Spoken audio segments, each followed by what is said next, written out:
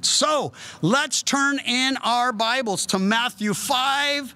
We're looking at the first 16 verses of Matthew chapter 5 today. Our study God's plan, promises, and power. We read in Matthew 5, verse 1 Seeing the multitudes, he, that will be Jesus, went up on a mountain. And when he was seated, his disciples came to him, and he opened his mouth and taught them, saying, Blessed are the poor in spirit, for theirs is the kingdom of heaven. Blessed are those who mourn, for they shall be comforted. Blessed are the meek for they shall inherit the earth. Blessed are those who hunger and thirst for righteousness, for they shall be filled. Blessed are the merciful, for they shall obtain mercy. Blessed are the pure in heart, for they shall see God. Blessed are the peacemakers, for they shall be called sons of God. Blessed are those who are persecuted for righteousness' sake for theirs is the kingdom of heaven. Blessed are you when they revile you and persecute you and say all kinds of evil against you falsely for my sake. Rejoice and be exceedingly glad, for great is your reward in heaven. For so they persecuted the prophets who were before you. It's called the Sermon on the Mount. It's a reference to its historical location, and it begins with the reminder that our Lord and Savior Jesus has a heart for the multitudes, a, message and plan to reach and teach them, a message of forgiveness and cleansing and transformation, and ultimately, as we just sang, perfection in His presence all through the blood he shed for them. The Sermon on the Mount is good news, but it's not the good news. That's important because there are some who read this sermon, and as they did with the law, they thought, well, if I just keep the law, then I'll be fine. Well, not really. You'll still be dead in trespasses and sin, but you will have attempted to do the impossible because no one but Jesus ever kept the entire law. That's not to say we're lawless. It's not to say we're lawbreakers. It's not to say we justify what he would abhor. It's just to say this that, that the gospel is God's only message of salvation. Christ died for our sins according to the scriptures. He was buried and rose again the third day according to the scriptures. The power to save a soul is in that simple gospel message. But God's plan, promises, and powers are spelled out for those who are seeking after Him. And it's spelled out for those of us who are in Christ Jesus today. Seeing the multitudes, we read, He went up on a mountain. When He was seated, His disciples came to him. He begins with disciples. Don't picture just the dozen guys. No, he had hundreds of followers, and a disciple is simply one that follows after another, desiring to be more like him. There were thousands of people at this particular uh, teaching. It was situated in such a way where he would have been speaking in a, in a theater type setting, Sea of Galilee behind, Capernaum nearby, thousands of people flocking to him because of all the miracles he had been doing and the things they'd heard about him. So he starts here he looks at the multitudes, as I already shared, a message for them, a heart for them, a passion to see them forgiven by him. But he focuses on his disciples, and any who were further out could easily draw near. And so he's there with his disciples. And by the way, among these disciples, many will ultimately forsake him. John 6 6 6 couldn't be easier to remember, right, for an address. Many of his disciples went away and walked with him no more. It's a horrific time because they'd followed him and listened to him and learned from him. And, and all of a sudden, he starts talking about, well, what they're going to need to do. And they're like, we just can't, we're not hanging with this. And, and so many will forsake him. One of the 12 will betray him, another of the 12 will deny him, not just once or twice, but thrice. Don't get to use that word much, so I had to throw it in. In any case, through these 12 men who had forsaken all at this point to follow him, he would change the world. Not just in that generation, though they had a radical impact on it, but they continue to transform the world because we have their testimony and we have their history. And we see that God took very ordinary men and did extraordinary things through them. That's important to us today because, well, he wants to change our world. And he always does it from the inside out. Religious folk try to conform people outwardly talk this way, look this way, act this way, dress this way. But Jesus changes us from the inside out. So if you're in Christ, He's at work in you. There's a transformation taking place that will ultimately make you more like Him. And by the way, that transformation often involves difficult seasons. Well, he opens his mouth and he taught them. Blessed are the poor, verse 3, in spirit, for theirs is the kingdom of heaven. Blessed are those who mourn, for they shall be comforted. I'm going to do these first eight in pairs, and you'll see why when I get a little further in. The ninth stands on its own, unlike the others. The whole focus changes, and I'll point that out to you when we get there as well. Well, blessed are the poor in spirit Theirs is the kingdom of heaven. Blessed are those who mourn, they shall be comforted.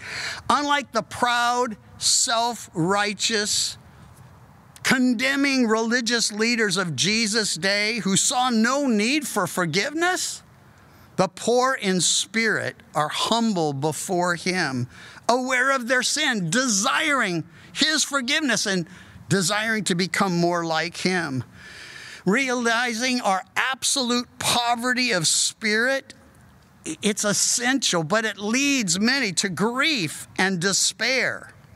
Peter, after affirming that he would never deny his Lord, denies him three times, just as the Lord warned him he would.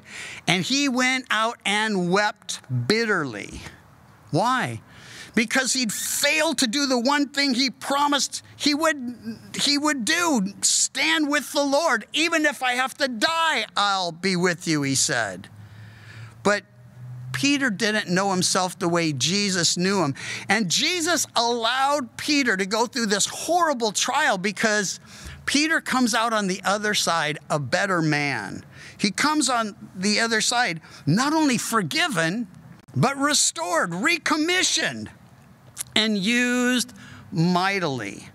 Blessed are the poor in spirit, blessed are those who mourn. Listen, separating these two makes it more difficult to really understand either one.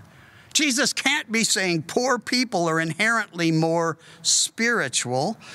Um, that's just not the case.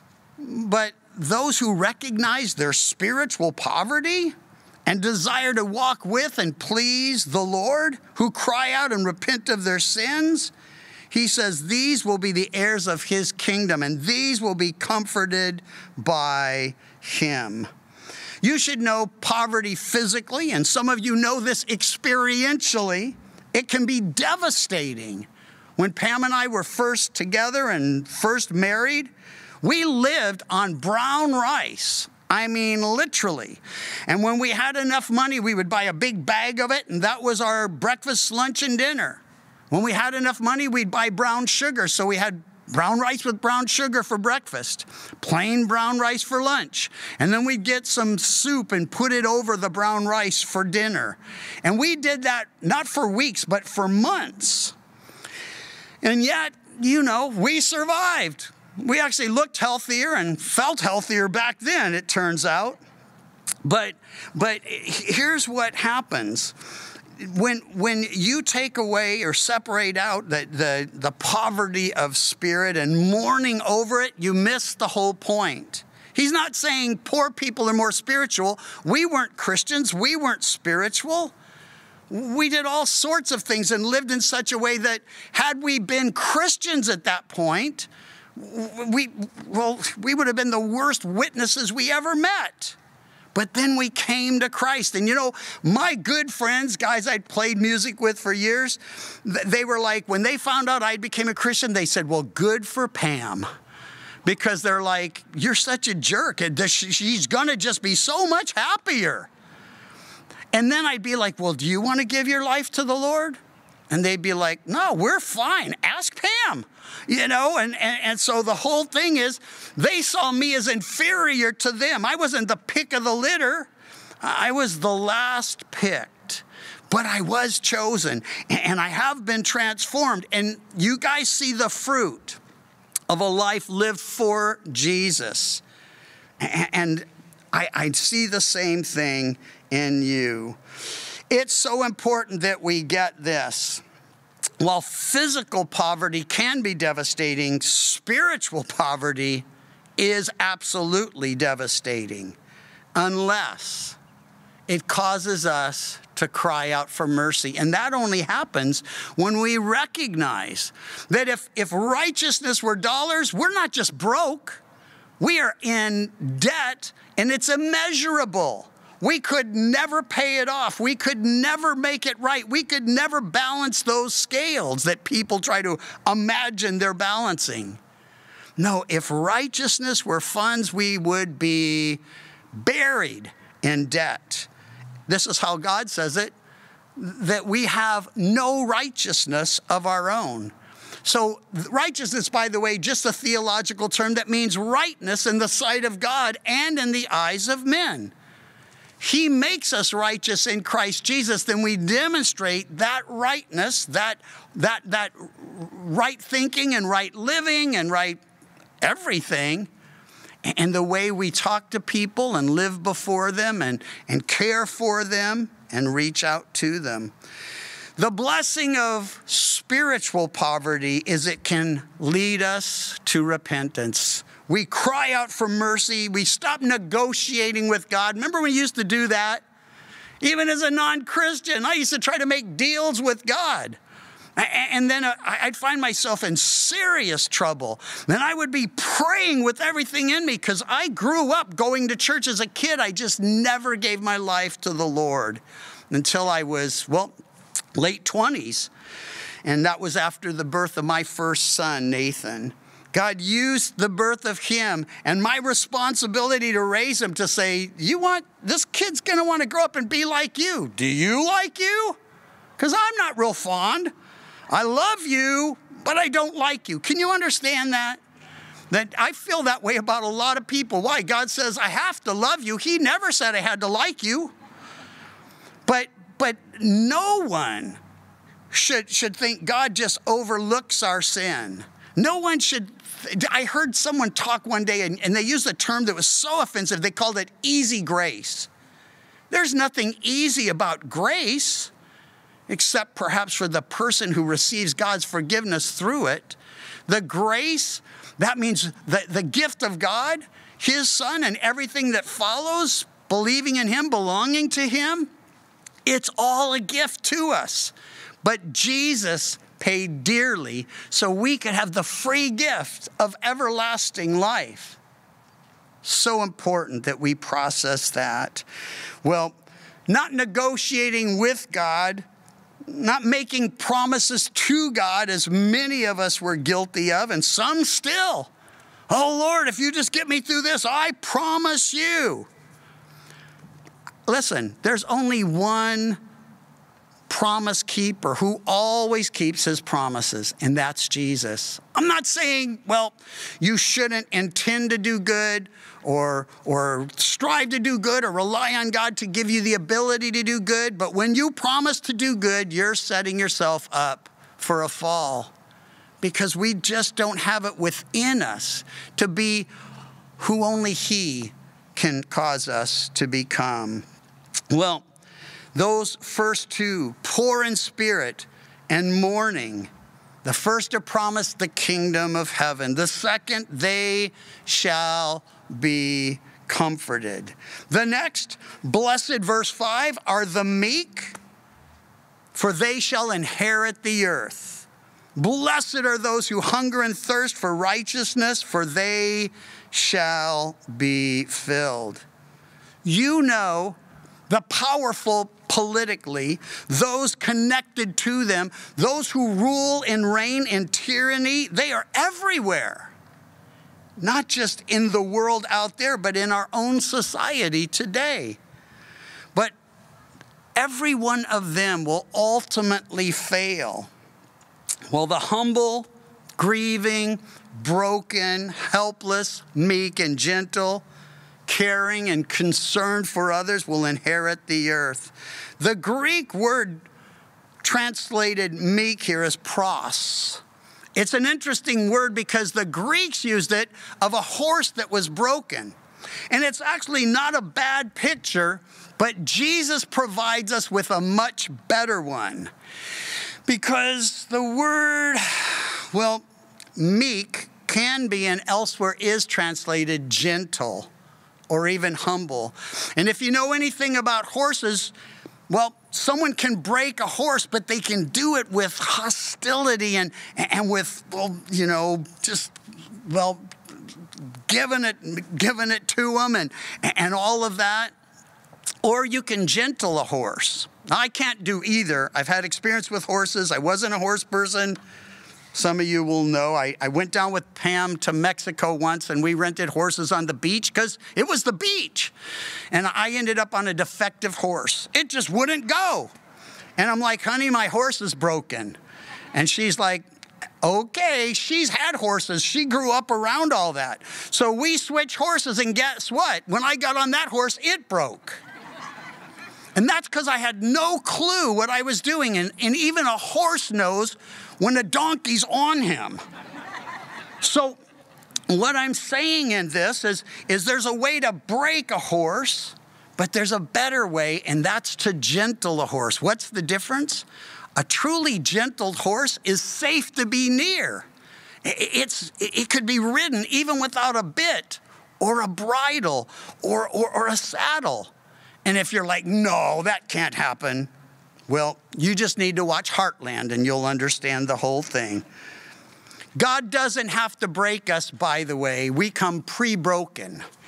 And uh, it's like that Christmas present that you ordered. You got it early. You were going to rewrap it to make sure the kids loved it. And, and you open it, and all the pieces are broken. That's what God got when He got us. Just a broken person. But He didn't break us, He gentles us and he doesn't use intimidation or domination or manipulation. He whispers the truth in our ears, and our hearts break. The truth about him, the truth about us, the thing that's keeping us, the truth about what keeps us from him and from his will for our lives.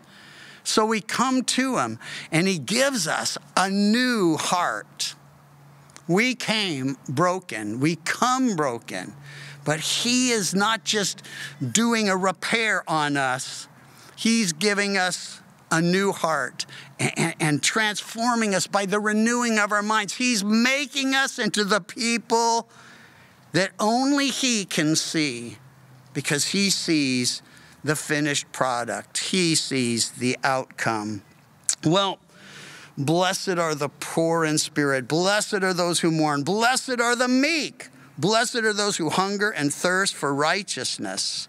The meek will inherit the earth. You tell that to leaders today, and they'll be like, yeah, right. But when Jesus says it, you can count on it. It's absolutely assured. It won't be the strong, it won't be the mighty, it won't be the one who rules in tyranny.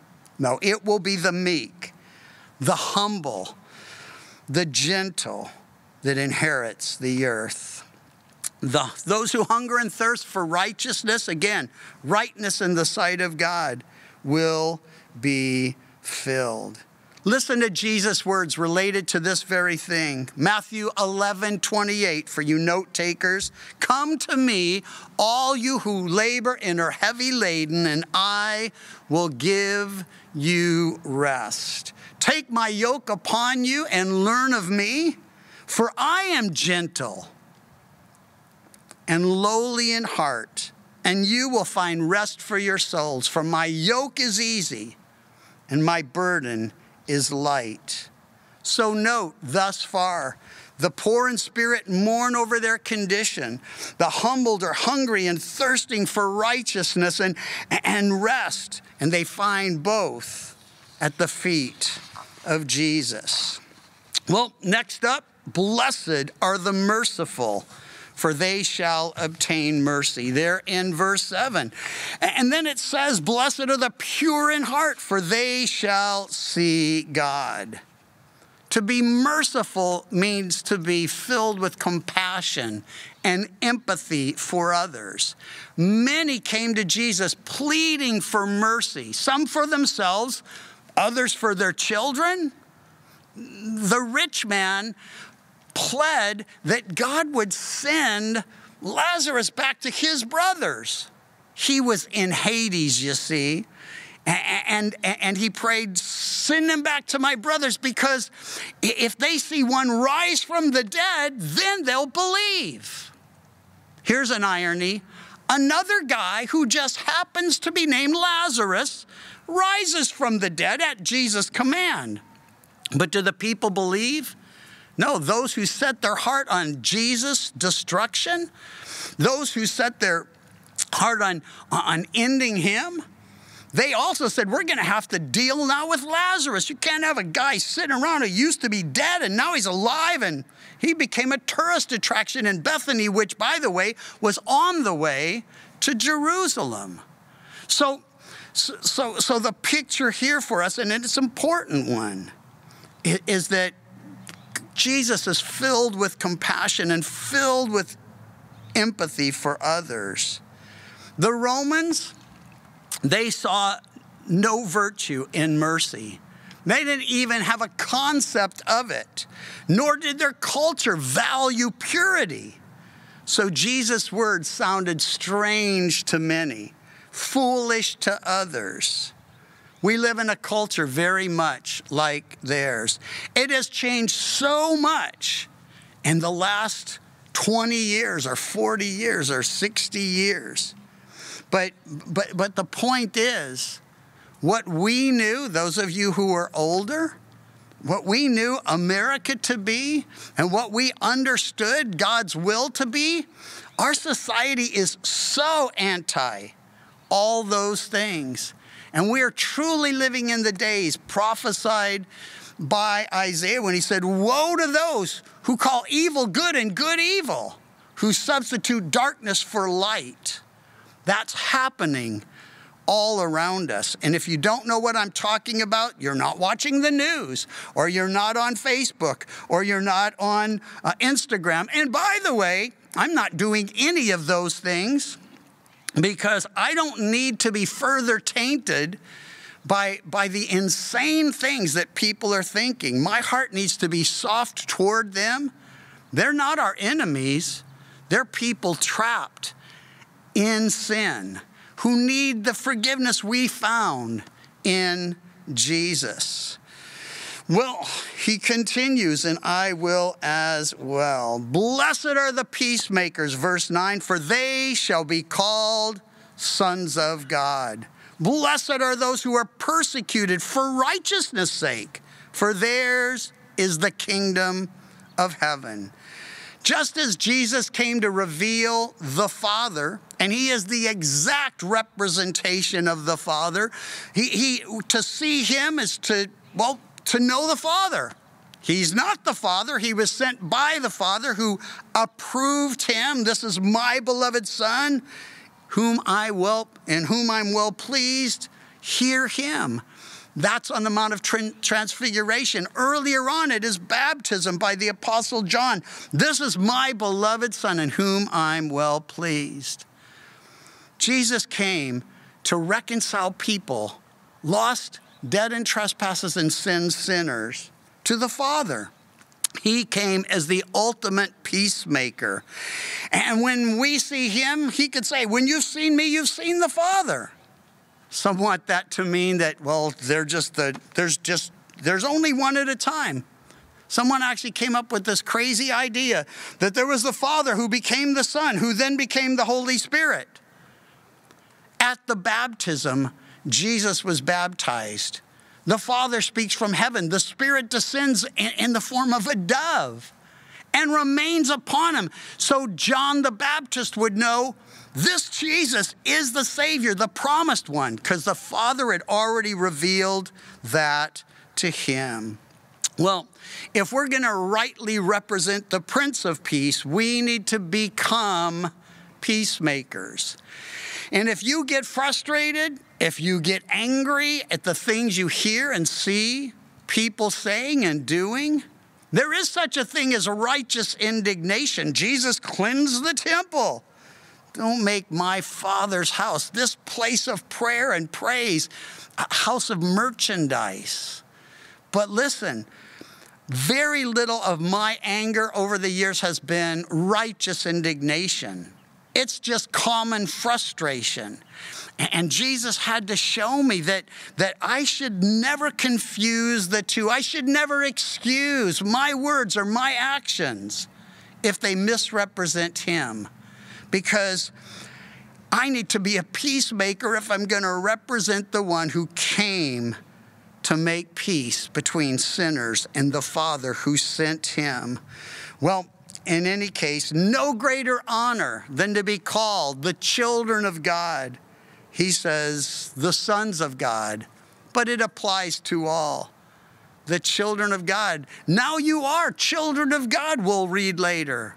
And it doesn't appear what, what exactly what that's all going to be, but, but we know when we're with him, we'll be like him and we'll see him as he is. Well, this particular passage surprises some because we would think that peacemakers would be applauded, maybe get a Nobel Peace Prize. You know, you can get that for being on TV. You can get that for being an athlete and, and raising some money for poor children somewhere.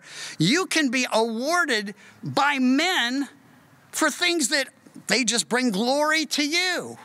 That's not to say helping people is something we shouldn't be. No, we should be doing everything we can for our fellow man. But to think that, that somehow we deserve to be highly thought of or valued or appreciated or rewarded, listen, let me clue you in. That's not going to happen to you. Not in this culture, not if you're like Jesus, because peacemakers like John the Baptist, he was that. He was trying to bridge the gap between his own people and the God they had forsaken. And he was calling them to repent, his own people, God's chosen people to repent. Why? Because God said they were guilty and separated from him by their sin. And they were saying, But we're the children of God, we're the chosen ones.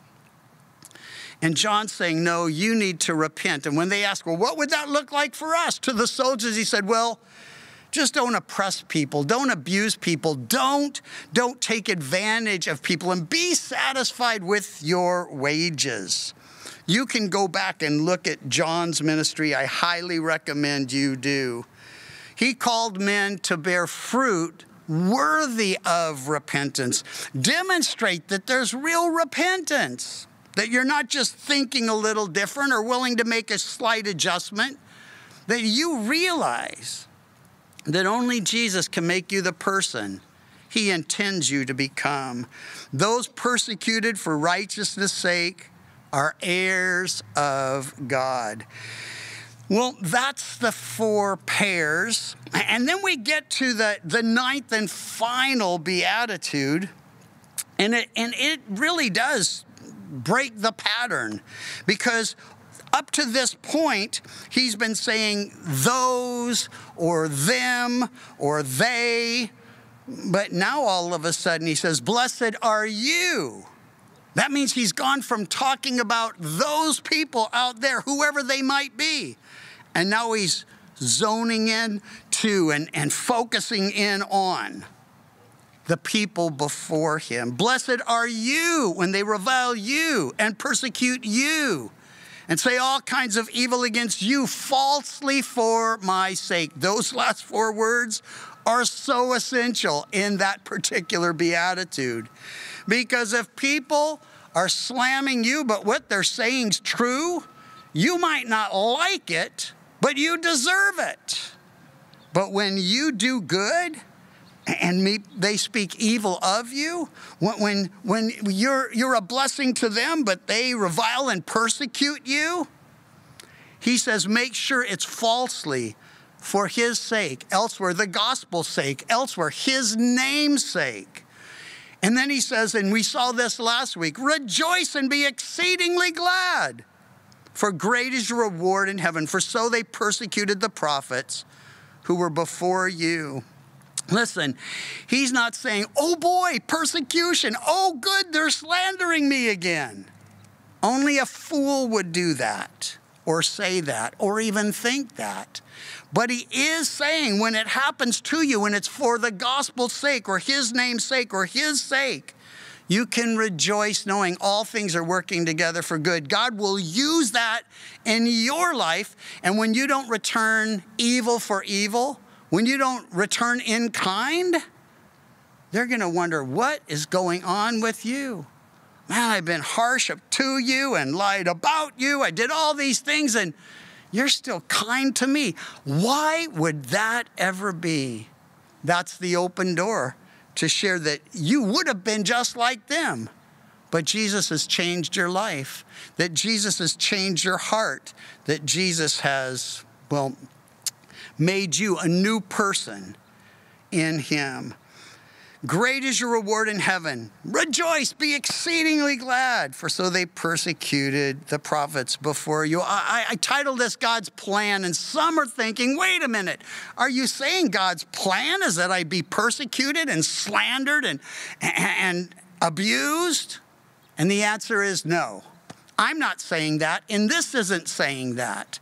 God's plan is that you would be aware that these things are going to happen. So when they do, and the enemy whispers in your ear, you deserve that, you know?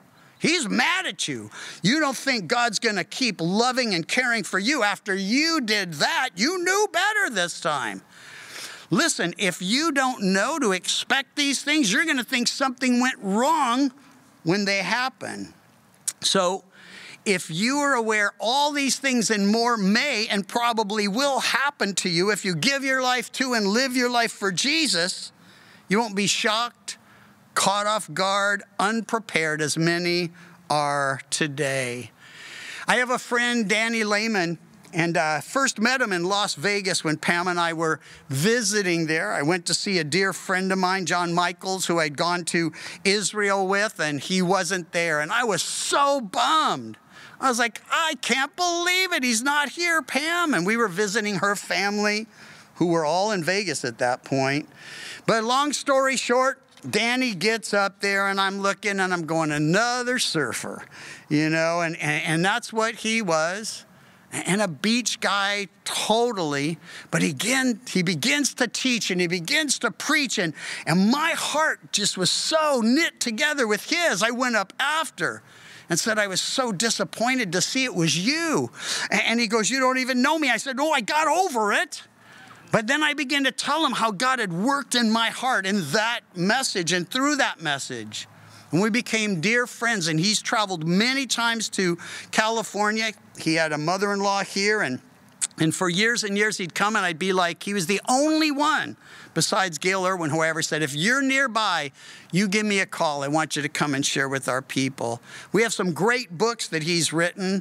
Bring them back alive and before you hit the wall and all sorts of others. But, but a passionate evangelist who, who never stood before thousands as some have and preached, but he has led thousands to the Lord. You know how he does it? One at a time, one on one, on an airplane or in a restaurant or wherever He is. Jesus is the subject matter, and He has a way to get you there. And I just want to say that, that well, that, that, that Danny has experienced what I've experienced, what you experience. People who used to love you, not so fond of you.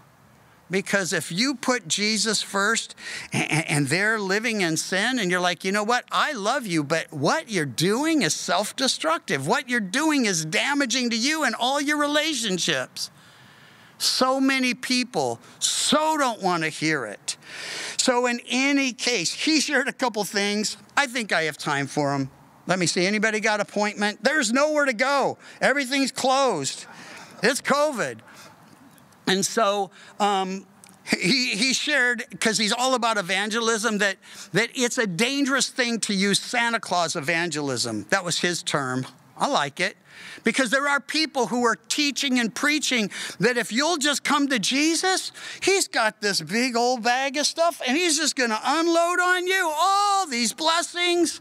And while it's true He's going to bless and does, all sorts of hard things can happen in the midst of walking with Jesus and representing Jesus. You find people who used to like you no longer do. And you find that, that doors that used to be open to you, well, they're shut now. And so the idea, you come to him and you get all the goodies and none of the problems. That's absolutely contrary to what Jesus is teaching here. Are we blessed because we're in Christ Jesus? Of course. But to think that the world is going to embrace us and love us because of it, that's really foreign to reality. There's also Frankenstein evangelism. So, so and, and you might be able to already figure this one out. Uh, the, the Santa Claus evangelism just says, come to Jesus and everything's going to be great. No worries, no problems, no bills, no debts, just a rosy life walking with Jesus. I found that not to be accurate. But Frankenstein evangelism is literally trying to scare the hell out of people. It's saying, He's going to get you unless you come to Jesus. And that's not true either. You do have a free will, you get to make a choice. But anyone who says, Well, I'm not really going to make a choice, well, then you have. Because if you don't choose Jesus, then you've chosen to stay dead in trespasses and sin, to live your life apart from Him and His will for your life. So here's how Jesus deals with both those issues. He says in John 15, 18, and I want you to know where it is so you can look at it later. If the world hates you, you know it hated me before it hated you. If you were of the world, then the world would love its own. But because you are not of the world, I chose you out of the world. Therefore, the world hates you. I like that. We're in the world, but not of this world. Our citizenship is in heaven. Our rewards for a life well lived awaits us in heaven. All the blessings we have are in Christ Jesus but most are reserved for us in heavenly places. And if you think, well, what about all the stuff I wanted now and was promised? They ripped you off, they lied to you. You're going to get some stuff. But think about this life here on planet Earth is short. If you're young, you're thinking, well, I don't know about that. If you're older, you know it's true. But eternal life, everlasting life in His presence, that's to infinity and beyond. It just never ends. So think about if you had to choose, well, I want everything this life has to, to offer, or I'll take everything the everlasting life has to offer. Only a fool would trade eternal blessings for temporal ones. And you're no fool. At least I hope you're no fool. Jesus just said, if the world hates you, you're in good company. They hated me first. Remember the word I said a servant is not greater than his master. If they persecuted me, they'll persecute you. If they kept my word, they'll keep yours also. But all these things they'll do to you for my name's sake, because they do not know him who sent me. Peter will later write in 1 Peter 4:19, And he learned this one the hard way, but he learned it. Let those who suffer according to the will of God commit their souls to him in doing good as to a faithful creator.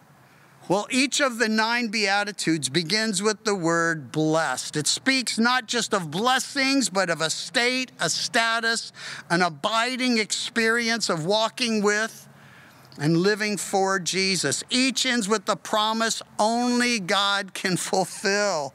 So all our hope is in Him in His word, in His promises, and His faithfulness. So, before we close, just a couple things. In everything, give thanks. We saw it last time. For everything, give thanks. We talked about it. For this is the will of God for you in Christ Jesus. Today it's rejoice and be exceedingly glad, for great is your reward in heaven. Note they're beatitudes, not do attitudes. Why? Because you need to be who God intends you to become before you can do what God wants to accomplish through you. Oh, He'll work through you now. We see that with Peter and the guys. They were far from complete, they were far from a finished product, but they were available to Him and used by Him. But he gives us at the close of this particular study a revelation and an exhortation straight from his heart. Take a look at it. You are the salt of the earth. If the salt loses its flavor, how shall it be seasoned? It is then good for nothing but to be thrown out and trampled underfoot by men. Salt was and is still today used in many places as a preservative. It was also used as currency, like toilet paper today. That's where the phrase, that's where the phrase, he's not worth his salt comes from. They would pay Roman soldiers with salt because it was easy to transport and believe it or not, very valuable in that day. So you'd have your salt and then you could trade that for goods. Thanksgiving's coming for them Passover. But they were Romans, so forget where that was going. Uh, if you were a Christian, though, and you were, you know, in this situation, you want to make sure, if you are a Christian in this situation, you want to make sure you're worth your salt. That, that, that you have a preserving influence on those who know you best. Unlike Lot, who couldn't get anyone but his wife and daughters to leave Sodom and Gomorrah before its destruction, though he spoke to many and said, Hey, come with me. Judgment's coming. This place is going to be burnt to the ground. They laughed at him and thought he was mocking. That might happen to you, but you want to make sure there are people around you who actually believe you they believe you when you tell them you're a Christian. They believe you when you say Jesus died so they could be forgiven sin. They believe you when you say judgment is coming and this whole thing's going to burn. Well, salt of the earth. And then he says, You are the light of the world. A city set on a hill cannot be hidden, nor do they light a lamp and put it under a basket, but on a lampstand, and it gives light to all who are in the house. Let your light so shine before men that they may see your good works and glorify your Father in heaven. Light's primary purpose is illumination. And we know Jesus said, I am the light of the world. Those who follow after me will not walk in darkness. His word, a lamp unto my feet and a light unto my path. It shows me if I'm standing on solid ground. And as I'm moving ahead, am I walking a road and a path that's safe and right? Or am I heading into trouble? So important that we get it. Light illuminates, and that's what we're to do. We're not to shine in such a way, and I know you've had this experience. It's night. You're going to do fireworks. You're going to do something. It's that time of year. You're out, and somebody has their flashlight. And you're like, hey, I could use a little light over here. And they shine it right in your eyes. Not helpful. And, and so to say it, this is simply to say, we need to shine for Him. I hear people shouting at the darkness and about the darkness, and I see other people just flipping the switch. The light comes on and the darkness flees because the two cannot exist in the same space. You are the salt of the world, you are the light of the world. So, Lord, I thank you for your words of encouragement to us today. Thank you that the things we experience, you've already laid them out for us. You've told us what we can expect from you and what we can expect to the world and from the world if we're faithful to you and living for you and even rightly representing you. Lord, enable us by your Spirit to be all the things you've called us to be.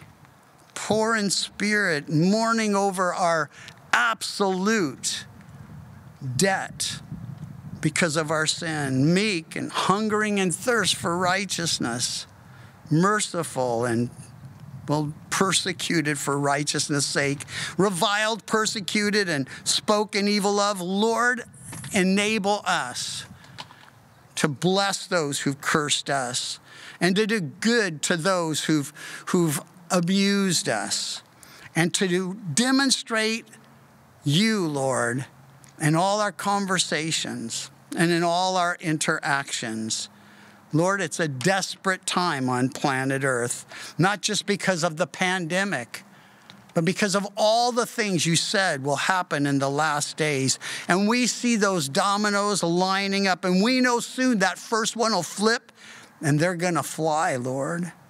I just pray that not one here would be lost to you, that not one logged on or listening in would be lost to you, that all would come to repentance. We know it's not your will any perish, but all come to repentance. So make that real in every heart where someone's wondering or struggling or trying to put it together. And Lord, for my brothers and sisters, just pour your spirit out on us. So as we walk with you and live for you and represent you, we'll do so in a way that brings glory to you. Our light so shining before men that they see our good works, but the Father, our Father in heaven, gets all the glory. If you're here or you're listening or in or logged on and you've never said, Jesus, I get it. I'm guilty. I'm a sinner. I've heard you died for sin. You were buried and rose again. I believe all that. But Lord, in my heart of hearts, I know I've never really given my life to you. And I'm certainly not living my life for you. So if that would be you today, I'm going to pray a short prayer. And believers, feel free to pray along. But any of you in the valley of decision, needing to decide now for Jesus. Know this, He's for you. And He demonstrated His love to you when He died for your sins, was buried, and rose again. So pray aloud after me Heavenly Father, thank you for sending Jesus. Thank you for drawing me today, for speaking to me, for your patience with me and kindness to me. Thank you for opening my eyes, for softening my heart, for opening my ears and telling me what's true. I confess I'm guilty in your sight, a sinner in need of a Savior. And I confess Jesus as my Lord and my Savior in this moment, here and now, and forevermore. In his precious name I pray. Amen. Let's welcome any and all into the family. We don't know who you are, you know. Listen, if you're here and you just prayed to receive that prayer, to receive the Lord, you prayed that prayer for the very first time, please come forward. We want to connect with you, welcome you to the family of God, give you a Bible. If you're checking us out online or following us uh, in any other medium, make sure you get in touch with us so we can get someone to you who will do the very same thing. Welcome you to the family of God. And in the midst of that, um, get you a Bible so you can get started in your study of the Word of God. Blessed to be with all of you, thankful for another beautiful day, praying that this continues. And I see more of you each week, and I'm loving that too. Invite people, tell them we're safe out here, there's plenty of social distancing. And more than that, there's worship and teaching and, well, a chance to connect with the true and living God. Let's all stand for one last song.